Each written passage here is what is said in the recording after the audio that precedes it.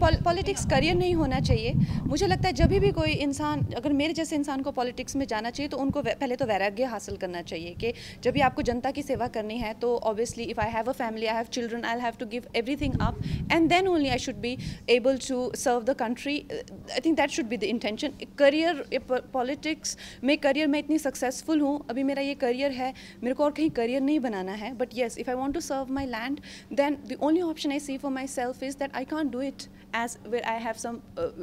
vested interest in some other department, you know, because वो conflicting हो जाता है तो I think जो भी लोग करना चाहते हैं करना चाहिए मगर उनको किसी तरह से uh, जो है वैराग्य हासिल करना चाहिए